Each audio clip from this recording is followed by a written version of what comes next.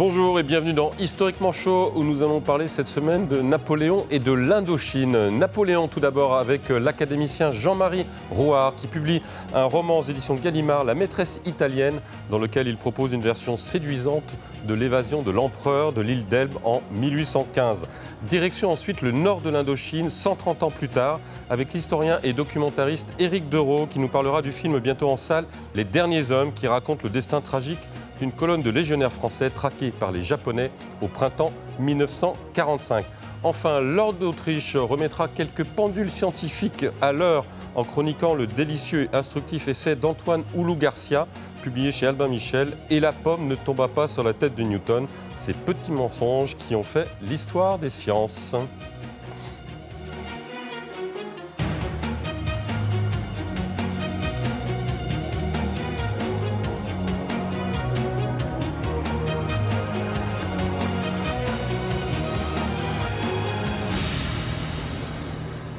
Bonjour Jean-Marie Roy, vous êtes euh, écrivain, romancier, essayiste, membre de l'Académie française depuis 1997, élu au siège du grand historien Georges Duby. Mais quand vous plongez dans l'histoire, vous intéressez plutôt à l'histoire contemporaine, un peu moins au Moyen Âge que lui, et notamment la période napoléonienne sur laquelle vous avez déjà écrit euh, plusieurs livres et qui sert de cadre à votre nouveau roman, La maîtresse italienne, publié chez Gallimard un roman qui a pour euh, sujet le séjour de Napoléon Ier à l'île d'Elbe et pour héros un malheureux colonel britannique qui va manquer à ses devoirs de surveillance de l'ogre. On a deviné pourquoi grâce au titre de votre livre. Mais avant d'aller plus loin, quand même, dites-nous pourquoi cette fascination pour Napoléon? Parce que, comme je l'ai dit, ce n'est pas votre premier livre. Vous tournez quand même souvent autour de Napoléon. Mais parce que je suis français.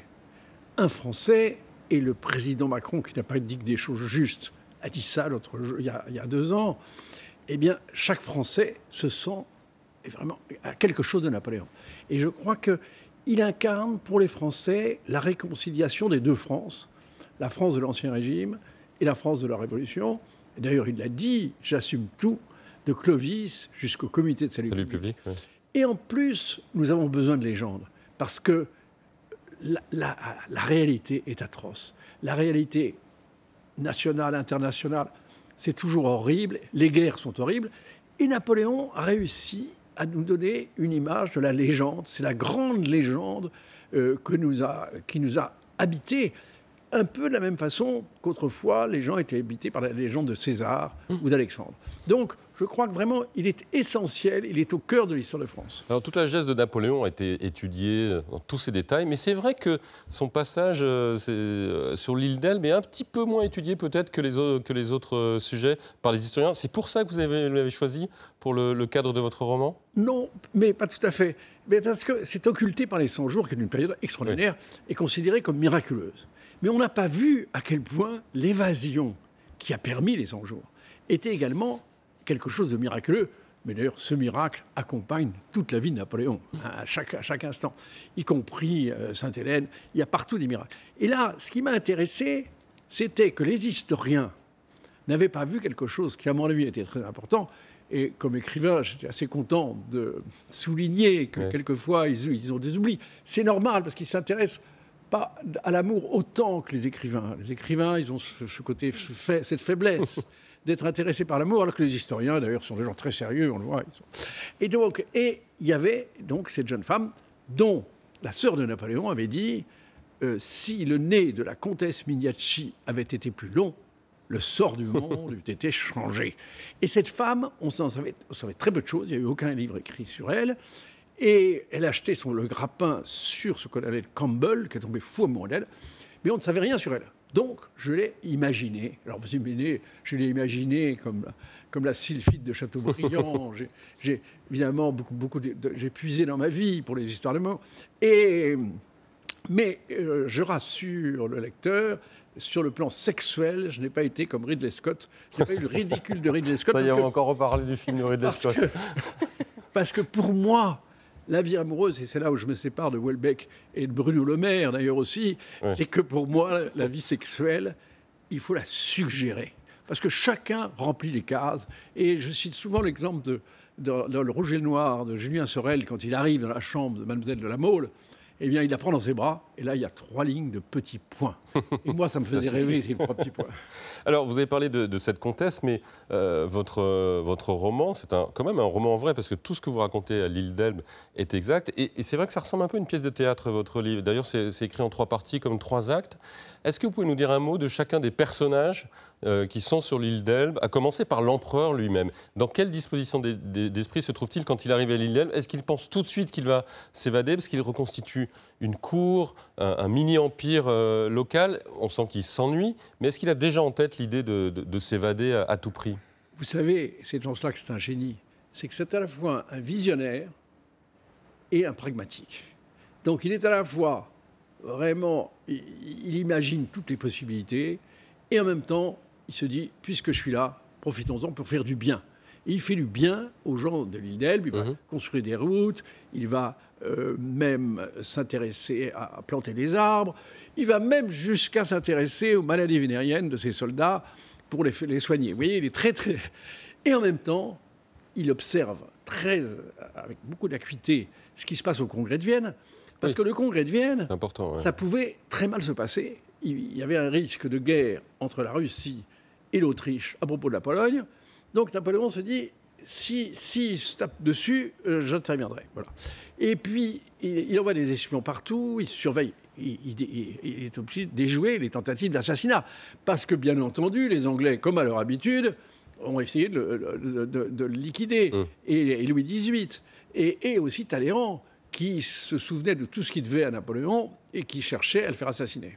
Ce qui est, ce qui est impressionnant, justement, c'est ce réseau d'informateurs qu'il a gardé. On a l'impression que ça, grouille en permanence dans sa, dans sa villa. Les gens entrent, sortent, viennent lui annoncer des choses. On, se demande si les Anglais surveillent grand-chose euh, sur cette île, quand même. Oui, ils surveillent parce que, euh, pour eux... Mais d'ailleurs, ils ont essayé de le faire assassiner depuis le début. Depuis, où ils ont assassiné tous les gens de son entourage, puisque euh, Saïd, puisque à un moment, Napoléon devait regagner l'Inde par, par l'Égypte, ils ont fait assassiner Thibaut Saïd, ils ont fait assassiner Paul Ier, le tsar, qui était mmh. favorable à Napoléon. Donc vous voyez, un, ça fait partie des gènes de, l'Angleterre de faire assassiner les opposants. Alors euh, sur, l'île, il y a aussi Pauline, euh, sa sœur, il y a aussi sa mère, et tous ces personnages vont jouer un, rôle dans son évasion?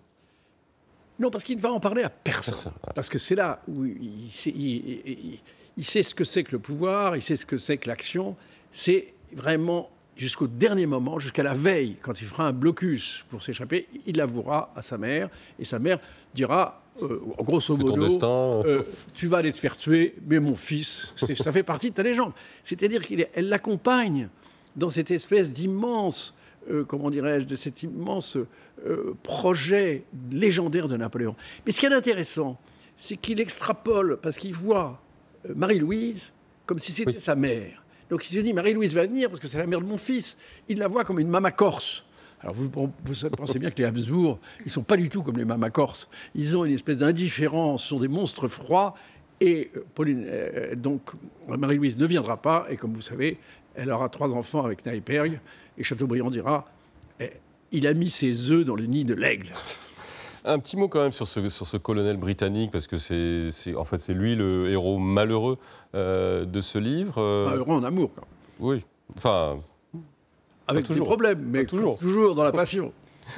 qui, qui était-il euh, véritablement? Mais Il avait été blessé, c'était un ami, de, un protégé de Lord Castlereagh, et il avait été blessé par un cosaque qu'il avait pris pour un Français, et il a accompagné Napoléon de Fontainebleau. Euh, voilà, et, et il a vu tout de suite à quel point les Français, au moment, parce que c'était très dur ce passage de, la descente de la France, et où euh, Napoléon a failli se faire écharper, il est obligé de prendre d'ailleurs l'uniforme d'un officier autrichien.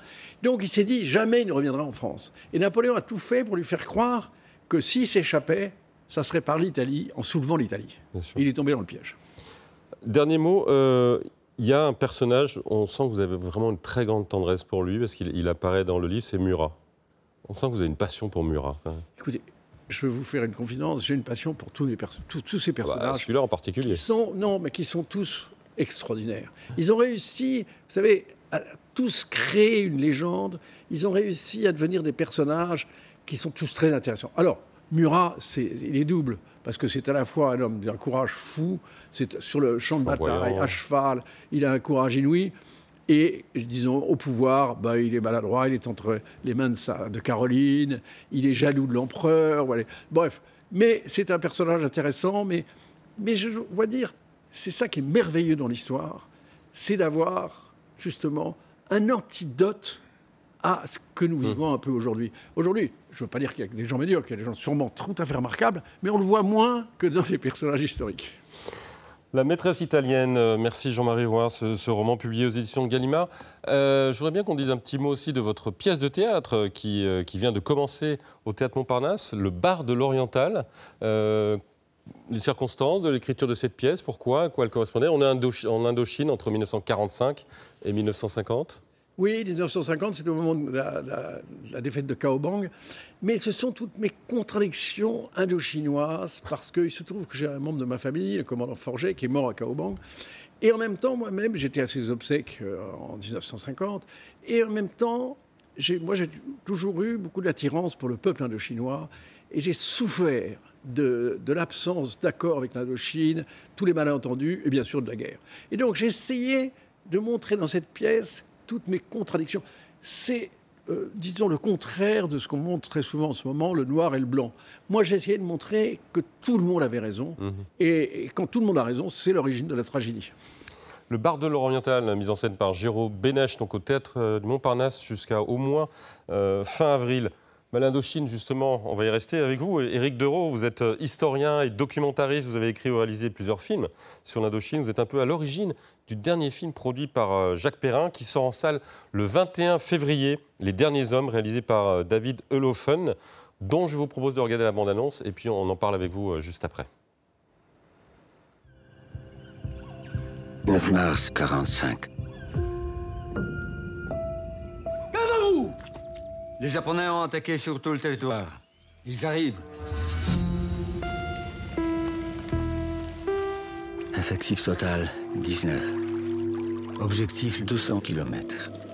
Nos chances d'y arriver sont proches du néant.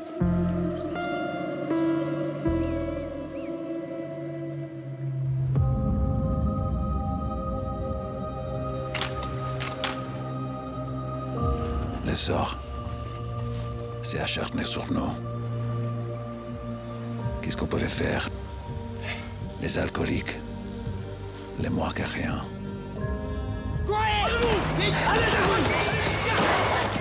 On a juste des hommes paumés dans la jungle. Il n'a plus de règles.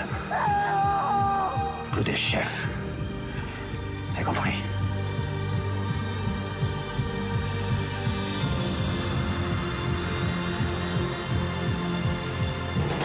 sommes déjà morts. Si l'un d'entre nous y arrive, on y arrive un peu tous. Les derniers hommes de David Eulofen euh, qui sort euh, en salle dans, quelques jours, euh, qui est l'histoire d'une colonne de la Légion étrangère qui replie vers la Chine après le 9 mars 45 Dites-nous déjà, qu'est-ce qui s'est passé le 9 mars 1945 Parce que beaucoup de nos, contemporains ne savent pas cet événement absolument tragique qui a eu lieu en Indochine le 9 mars 1945. Vous avez raison, c'est une date très importante qui est totalement méconnue. En 1940, les Japonais occupent l'Indochine parce qu'ils cherchent à prendre à revers les armées chinoises et donc exigent du gouvernement français, qui n'en a pas les moyens, de contrôler la voie de chemin de fer qui va de Haiphong, Hanoï, Laokai. Pétain négocie un statu quo avec les autorités japonaises, nomme un amiral euh, gouverneur qui est l'amiral de Kou, et pendant cinq ans, va s'établir une sorte de, de, pis-aller où on laisse les couleurs françaises flotter, où finalement l'armée japonaise est enchantée de ne pas avoir à gérer mhm. la péninsule chinoise, qui, sera, qui, je rappelle, se compose de l'Indochine, le Vietnam, le Cambodge et le Laos. Et euh, en revanche, l'armée japonaise ponctionne énormément de choses en riz, en, nourriture, en aliments, et installe des bases d'aviation dont certains auteurs pourront dire sont de véritables porte-avions dans la guerre que mènent les Japonais en Pacifique. Et puis, les lignes japonaises s'effondrant, les armées japonaises euh, se reculant, De Gaulle étant pas très adroit, il envoie des émissaires, il envoie des parachutistes qui se font un peu remarquer. Les Japonais se disent qu'ils vont avoir sur leurs arrières des nids de résistance mhm. et décide, dans la soirée du 9 mars, dans une opération absolument incroyable, il convoque, il y a des réunions bilatérales avec les autorités françaises pour voir un petit peu comment vont les choses, il les convoque dans les grandes principales garnisons, et là, tout d'un coup, exige des colonels ou des résidents supérieurs de signer un, document euh, résiliant tous les droits, etc. Et ceux qui refusent de le faire le sont décapités, réellement décapités, comme, comme dans, Donc il y a en quelques jours 3000 morts et les garnisons qui n'ont pas été préparées. Il y a eu des alertes, mais l'armée d'Indochine en 1945, elle n'a rien. L'Indochine est coupée de la France depuis 5 ans, donc c'est une armée qui est sans moyens, sans munitions, qui est malade. Et donc les hommes vont les uns de façon plus ou moins organisée, les autres sans aucun plan, essayer de gagner la Chine parce que c'est là que sont les forces américaines. Et au Laos, à Kankai, il y a une section euh, qu'on appelle à l'époque une section des isolés, qui sont des légionnaires qui sont au bout du rouleau. Il n'y a plus de médicaments, ils sont syphilitiques, ils sont alcooliques, ils sont paludéens. On les a mis là parce que Kankai, c'est le plateau du Tranin, c'est un climat un petit peu auvergnat, en attendant finalement qu'ils meurent. Et ils sont commandés par un adjudant que j'ai connu, hein, c'est une histoire ah vraie. Hein, euh, un Autrichien qui, lui, est un, gabarit, comme on les appelle dans les Légion, un type retaillé, qui leur dit on ne va pas se laisser mourir. On prend la piste. Alors que les types sont des épaves. Et, cette histoire avait, fasciné Jacques Perrin parce que, en plus, on avait, en faisant un film ensemble qui s'appelait L'Empire au milieu du Sud, nous étions tombés sur des images que les, archivistes ne savaient pas décoder. Et c'était des images qu'un caméraman américain avait pris, non pas de cette colonne, mais d'une autre qui était un La colonne Alessandrie, c'est ça La colonne Alessandrie. Et Jacques était tombé, mais était tombé fou, mais fou amoureux de ces images, en me disant mais qu'est-ce que c'est que cette histoire-là? On les a revues, on les a revues, on les a revues. Et à partir de ce moment-là, il a toujours voulu faire un film là-dessus. il y avait un roman qui existait, qui avait été écrit par un officier de Légion, qui s'appelait Les Chiens jaunes, qui racontait l'histoire vraie de cette colonne. C'est à partir de là qu'on a commencé à travailler. Et alors, euh, de combien étaient composés euh, ces, hommes? Comment s'est passée leur, fuite? Pendant combien de temps euh, Combien sont arrivés à leur fin? C'était une section à l'origine d'une trentaine d'hommes. Euh, la route, à l'origine, devait les faire remonter vers Dien Bien Phu, puisque le, centre de regroupement devait être Dien Bien Phu. Vers le Tonkin, Ils se sont aperçus que les Japonais occupaient déjà les routes avec des véhicules. Et là, à ce moment-là, ils vont sans arrêt euh, errer, euh, tout, un, tout, un, périple qui va les mener pratiquement aux confins de la Birmanie, de la Chine et du Laos, et franchir le Mekong. Alors le film insiste beaucoup sur le, je trouvais, sur le, rapport à la nature. C'est un, un, film très très naturaliste. On, les bruits, les odeurs, les... on a l'impression qu'il y a une grande insistance là-dessus. C'était la patte de Jacques, parce que Jacques adorait évidemment, après tous les films superbes qu'il avait fait sur la nature, sur la mer, sur les forêts, sur les, animaux. Il voulait qu'on sorte, qu'on sente vraiment que le, la nature était un des acteurs en fait de l'histoire. En fait, les, hommes luttent contre eux, contre leurs démons, contre leur alcoolisme, contre leurs fantasmes, contre leurs fantômes, mais aussi contre la nature. Et donc, c'est parce que c'est vrai que la nature, euh, dans ces endroits-là, est, totalement incroyable, elle est énorme, elle, dépasse. Et donc, c'était ça qu'il voulait mettre en avant. Peut-être aussi, euh, Jacques Perrin, il avait été, je crois, très marqué par le tournage de la 310e section de, de Pierre Schoendorfer, que vous avez très bien connu, euh, Jean-Marie Roy. Et n'ayant pas fait cette guerre d'Indochine, mais euh, les conditions de tournage étaient quasiment celles d'un conflit. Et raconter aussi une colonne qui ne cessait de reculer, de, de, fuir. On a l'impression qu'il est revenu presque à, à cette origine-là. Il avait été très marqué. D'abord, le film a été tourné au Cambodge alors que la guerre se déroulait encore. Il a été tourné au début des années 60, donc il entendait le canon tirer. Bien sûr. Et Schoendorfer les avait mis dans des conditions de combat, c'est-à-dire qu'il tirait à balles réelles, il était blessé sur le tournage. Ils montaient leur tente tous les matins. Ils montaient leur tente, ils montaient les couleurs, ils mangeaient euh, une boule de riz. Et ça l'avait évidemment euh, fasciné, ça l'avait marqué. Moi, je me souviens que très souvent, on se baladait dans la rue, les gens l'arrêtaient, souvent des anciens, en disant bravo pour ce que vous avez fait en Indochine. C'est-à-dire qu'il incarnait vraiment. Ensuite, il avait incarné dans Alors qu'il n'est pas très militariste en plus, ce Jacques Pas tellement, c'était pas vraiment son truc, mais il incarnait avec le crap-tambour, le nom de capitaine, il incarnait une génération d'officiers. Et ça, plus ou moins peut-être malgré lui, j'en sais rien, mais il le portait. On est à quelques, quelques semaines de l'anniversaire de la bataille et la défaite de Dien Bien Phu. Euh, votre pièce euh, l'évoque, j'imagine, un petit peu, Jean-Marie Roy. Euh, où en est la mémoire indo-chinoise en France et la mémoire française en, Indochine? Alors, les Vietnamiens préparent une énorme cérémonie à Dien Bien Phu.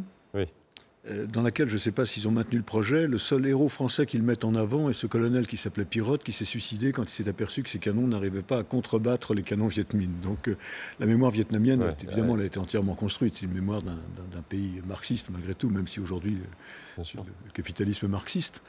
en France, elle est, elle est quand même très vivante dans les armées. L'Indochine dans les armées, beaucoup de parrains de promotion à l'École nationale des officiers d'active, à Saint-Cyr-Couette-Quidan, euh, à l'EMIA, euh, ça reste pour les officiers un peu ce que les Français adorent. Euh, Dien Bien Phu, c'est une, défaite, mais une, défaite héroïque. euh, les, les- les grandes cérémonies des unités d'élite de l'armée française sont des défaites. C'est Cameron pour la Légion, c'est. Bazeille pour les troupes de marine, c'est Sidi Ibrahim pour les chasseurs, et pour les parachutistes, c'est en train de devenir Dien Bien Phu. Je crois qu'il y a là quelque chose de très typiquement français. Euh, à la fin du 19e, la Troisième République a besoin d'inventer le martyr laïque. Euh, La République est, anti, est anti-catholique, elle est anti-religieuse, et on crée, c'est à ce moment-là que se créent les, les- les salles d'honneur. La main en bois du capitaine d'Anjou, qui Ouais, est la seule chose qu'on trouve à Cameron, ça devient une relique sainte. Euh, Cameron, c'est une cérémonie religieuse quand on le 30 avril. Et donc je crois qu'il y a, et voilà. Et donc pour les armées qui entretiennent très très fort ce souvenir, je crois qu'il y a quelque chose là à voir dans le- l'épopée, l'épopée et l'héroïsme dont, dont- dont parlait Jean-Marie, qui, qui est important. Et ça a même commencé ouais. avec Napoléon. Parce que Napoléon, en effet, dans une période de dé- déchristianisation, subitement, il y a eu plusieurs livres là-dessus, on s'est mis à, à- à idolâtrer Napoléon et à considérer que c'était un nouveau Christ qui serait euh, voilà, mort Mhm. à Sainte-Hélène. Mais vous dites pour les armées, mais Jean-Marie, vous êtes bien la preuve aussi que euh, cette mémoire indo-chinoise n'a pas marqué que les esprits militaires, et, et vous-même être euh, le dites, êtes un peu hanté par cette. sûr. mais peut-être parce que Schoendorfer vous en a beaucoup parlé Ah, aussi, oui, j'imagine. Et Lucien Baudard. Et Lucien mais, Baudard. mais vous savez, moi je suis allé en Indochine et j'ai vu les, les- les- les anciens colonels. J'ai pas réussi à voir Jap, qui aimait beaucoup la France. Et, et donc ces anciens colonels, c'était merveilleux parce que pour eux, c'était une période héroïque de leur vie. Et alors que les Américains avaient laissé un souvenir atroce, Mm. autant les Français, parce que les Français avaient quand même apporté ce, ce rêve d'une de l'universel. Le- vraiment, les- ils auraient rêvé, d'une, du- disons, qu'il y ait eu des, des liens très profonds. Et maintenant, c'est tout à fait dommage parce qu'il y a très peu de liens culturels. Et vraiment, c'est, c'est navrant. Et c'est navrant que le projet de Saint-Denis, que De Gaulle se soit trompé avec Saint-Denis complètement. Il l'a reconnu d'ailleurs, c'est une des rares fois où c'est- il a reconnu ses erreurs. Euh, Dernière question, Éric Deroux, vous êtes allé très souvent en Indochine, bien sûr. Vous comprenez cette, euh, ce mal jaune qui a, qui a habité beaucoup de, de- de Français qui, de la métropole qui sont venus s'installer en Indochine Vous avez pu Je être le sensible à, ça Je peux le comprendre comme historien, mais je ne le ressens pas. ouais. C'est-à-dire que les premières fois que je suis arrivé au Vietnam, j'ai vraiment eu le sentiment d'être dans un pays nouveau, moderne. Je me sentais très vieux parce que moi j'avais connu, euh, à travers ma famille, etc., des protagonistes et j'avais en face de moi le- je peux- 80% de la population en moins de 18 ans au Vietnam. Bien sûr. C'est passé. Donc je peux comprendre ce mal jaune qui a fasciné les hommes, mais, mais je ne le, ressens pas. Enfin, J'appartiens vraiment moi aussi à une génération euh, euh, qui regarde, j'essaie de regarder les choses euh, avec l'égalité euh, que nous avons tous, mais pour rebondir sur ce que disait Jean-Marie, c'est vrai que les Vietnamiens se sentent très partis. D'abord, il ne faut pas oublier qu'ils ont une langue et une écriture, le cockneu, très particulière. C'est-à-dire qu'il y a un, un- un missionnaire catholique, Monseigneur de Rhodes, qui a romanisé la, la langue chinoise, qui a créé le cockneu. Donc c'est une écriture latine Mhm. et sacrée aussi dans la formation grammaticale. Il y a une littérature vietnamienne extraordinaire, par exemple, et qui est propre au Vietnam, alors qu'à côté, euh, on est, on est euh, dans l'écriture chinoise ou dans l'écriture euh, lao ou thaï, etc. Mhm. Tout ça, ça contribue, mine de rien. Et c'est toujours l'alphabet utilisé, donc c'est très important. Merci beaucoup Éric Dereau pour, pour vos lumières. Allez, allez voir ce, ce film de David Delofen, donc euh, Les Derniers Hommes, qui sort en salle la semaine prochaine. Lord d'Autriche, ce livre au titre très mystérieux de Antoine Oulou Garcia, Et la pomme ne tomba pas sur la tête de Newton. C'est un livre qui tord le cou à certaines légendes scientifiques concernant évidemment Newton, mais aussi Galilée ou Archimède. Oui, Euh, c'est ça. En fait, l'histoire des, des sciences regorge d'anecdotes euh, plutôt surprenantes. Euh, La pomme qui serait tombée sur la tête du physicien Newton, Galilée en haut de la tour de Pise qui mesurait la chute de différents objets selon leur poids, ou encore le célèbre Eureka d'Archimède qui l'aurait prononcé en sortant de sa baignoire. Tout ça est faux. Et ce qui est très intéressant, c'est que pourtant, des livres, énormément de livres, relaient ces légendes, des articles aussi, et parfois des articles très sérieux. Euh, prenons tout simplement euh, bah, l'histoire de- de- du titre, la pomme euh, de, de Newton, l'histoire la plus, l'anecdote la plus connue dans l'histoire des sciences. Euh, un, un jour, que le physicien Newton faisait une sieste sous un arbre, une pomme lui tomba euh, sur la tête, et là il s'est dit, éclair de génie, si la pomme tombe vers le sol, c'est à cause de la gravité de la Terre qui attire la pomme vers son centre. Sauf que cette anecdote est fausse, et pourtant elle va être relayée énormément, y compris dans des musées magnifiés même. Vous avez aujourd'hui dans le musée d'histoire naturelle d'Oxford une statue magnifique de Newton, debout, se tenant le, menton et regardant à ses pieds une pomme, par exemple. Le, aussi l'arbre, le, fameux pommier, dans l'ancienne résidence de, euh, de, Newton, dans l'ancienne propriété de Newton. Eh bien, aujourd'hui encore, vous avez un arbre entouré d'une jolie clôture en bois. Avec, vous pouvez voir les photos très facilement, euh, avec une jolie euh, clôture en bois, sauf que bah, ça ne semble pas être le pommier de Newton, puisque l'auteur raconte que le pommier a été abattu au 19e siècle après une tempête. Mais voilà, ce qui est très intéressant. Mais comment c'est né alors cette légende Et ben voilà, c'est essayer de comprendre d'où vient la source. Et en l'occurrence, eh bien ici, euh, il semblerait que l'écrivain Voltaire ait été un des ah. premiers à relayer cette anecdote qu'il aurait entendue de la bouche de la nièce de Newton. Quand on va un peu plus loin, on trouve aussi une autre explication euh, dans le récit du biographe de Newton au XVIIIe siècle qui explique non pas que Newton a reçu une pomme sur la tête, mais qu'il aurait vu une pomme tomber. Mais là encore, tout est inventé. Et quand l'auteur creuse un peu, il découvre qu'au moment précis où cette anecdote surgit, eh bien, euh, Newton doit apporter la preuve de son génie, doit euh, prouver qu'il n'a rien à devoir à personne. Et en l'occurrence, à ce moment-là, il y a un de ses rivaux qui euh, martèle, qui fait courir le bruit que Newton lui aurait piqué certaines de ses idées et que ses travaux auraient inspiré Newton justement dans le, pour s'attribuer l'idée de, de la gravitation universelle. Donc voilà ici l'explication.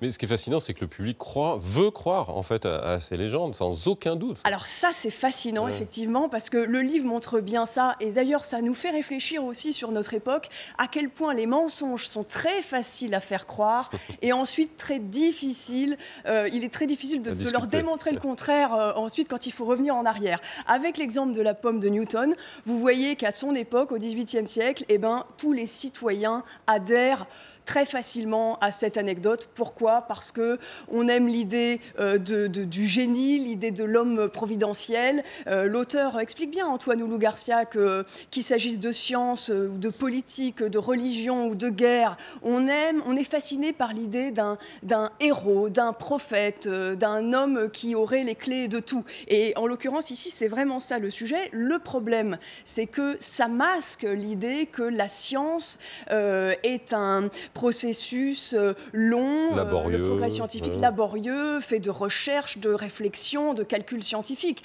Même chose avec le célèbre Eureka qu'aurait prononcé Archimède en sortant de sa baignoire. Eureka, j'ai trouvé en grec ancien, qu'il aurait dit lorsqu'il a pris conscience de la poussée de l'eau euh, quand on y plonge un, corps quel qu'il soit.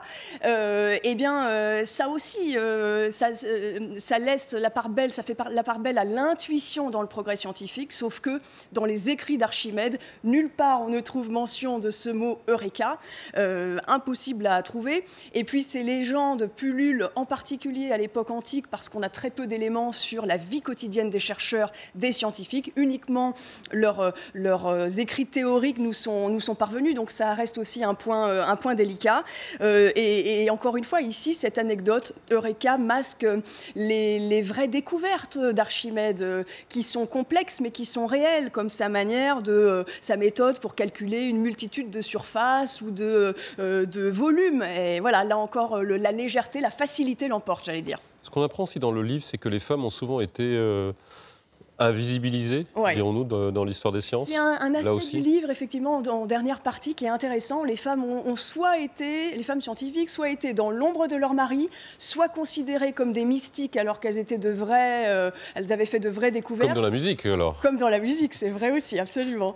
Euh, alors qu'elles avaient fait de vraies découvertes, ou alors euh, leurs travaux, leurs découvertes sont carrément passées sous silence, voire spoliées. Et je voulais juste donner un exemple, celui d'Émilie du Châtelet au XVIIIe siècle, maîtresse de Voltaire, traductrice de Newton, considérée aujourd'hui en particulier comme une femme de lettres, et là aussi ça nous donne une indication, femme de lettres principalement, alors qu'elle a écrit énormément de textes euh, scientifiques. Euh, elle était en contact de textes scientifiques sur la propagation du feu, par exemple, des textes de physique aussi. Elle était en contact à son époque avec tous les grands physiciens de son temps, simplement il la considérait comme une amatrice, écrit euh, Antoine Oulou Garcia, au mieux comme une traductrice.